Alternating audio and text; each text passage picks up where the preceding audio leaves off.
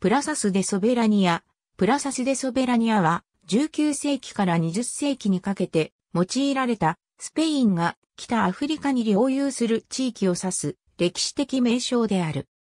時には北アフリカにあるスペイン領すべてを指す名称として使われるかもしれないが、現時点では廃れた名称である。プラサス・デ・ソベラニアは大小5つに分けられる。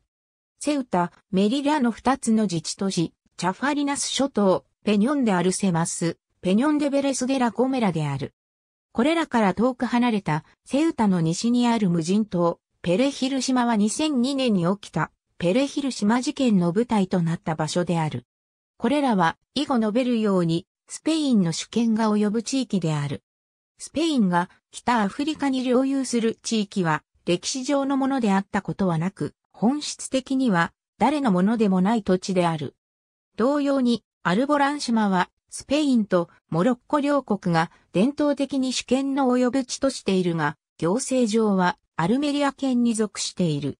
北アフリカにあるスペイン領を示した地図1995年、セウタとメリリアは自治州と同格の自治都市へ格上げされた。これ以外の小さな島々は駐留するスペイン軍以外の定住人口はなく、スペイン政府直轄地となっている。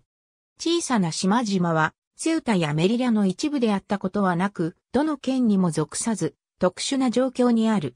プラサスでソベラニアは、スペイン本土と同様に EU の一部である。プラサスでソベラニアは、しばしばリーフ族から攻撃されてきた。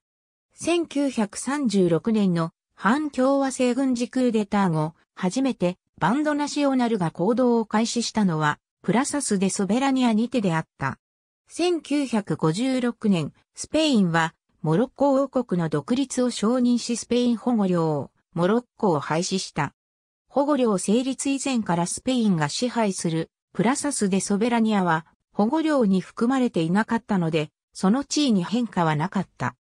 スペインが北アフリカに領有する地域は、大モロッコ思想を持つモロッコの国土回復運動の標的となっている。しかしスペインはその主権について、モロッコと交渉したことは一度もない。ありがとうございます。